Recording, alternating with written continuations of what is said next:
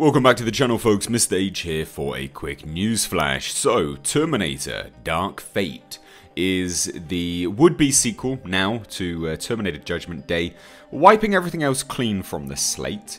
Uh, we had the name revealed recently, we also had a behind-the-scenes featurette, and outside of that and the poster that was revealed, we haven't learned anything else really about this movie.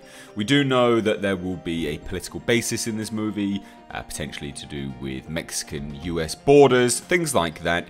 Uh, but outside of that, there's not really been any updates. However, the Arnold fans uh, got together with Arnold Schwarzenegger at the Arnold Sports Festival obviously Arnold Schwarzenegger, the Terminator, uh, and discussed the film. Now, Arnold Schwarzenegger didn't reveal an awful lot, there's not major uh, reveals and leaks here, but some of the comments are reassuring and they are interesting. So he does actually make a specific note of the budget, which we'll get to in a second because that is quite interesting.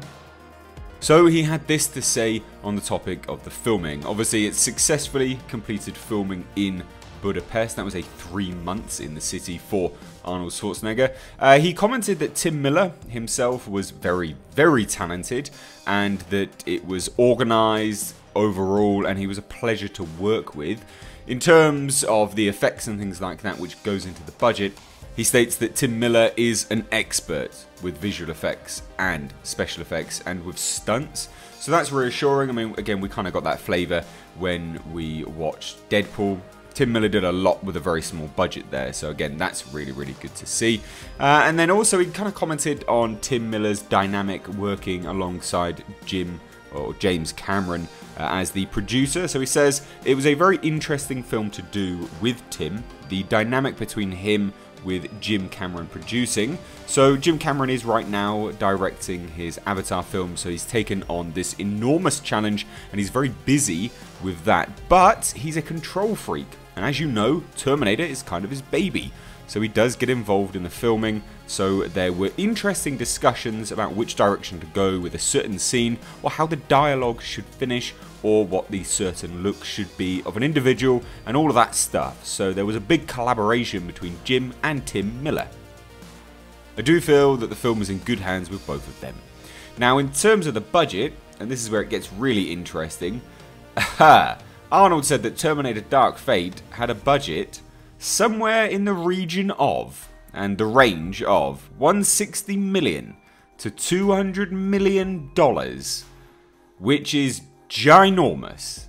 Uh, if this film has a budget of 200 million dollars, they are going to be, they're going to have to really make some bank to uh, to make profit on this. You're looking at four, 500 plus uh, to make profit on this film, which is insane. I I'm not surprised that that's the budget, might I add. Of course, I'm not surprised. It's a heavy special effects film. There's going to be flashbang explosions, all of that nonsense. So, 200 million makes sense. I mean, that is something which I can understand and appreciate that it would be. Uh, but it does just make me think, well, you know, that's they're going to have to make some serious cash back to uh, you know to make some profit on this. Uh, he also did state that actually he's seen 15 minutes of it and it looked great and he was very excited about it, which is PR spin. He would have had to have said that.